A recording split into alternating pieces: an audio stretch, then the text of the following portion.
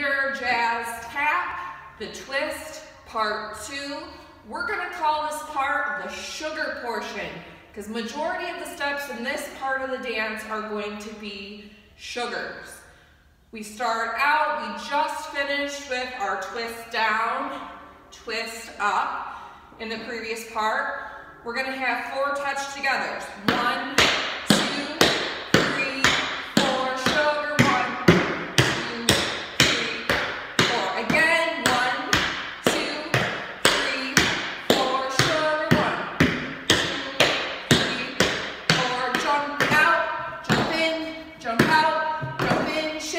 One, shake up.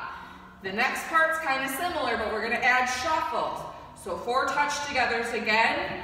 One, two, three, four, shuffle, step, shuffle, step. We're gonna find our partner, hold our hand up, and we're gonna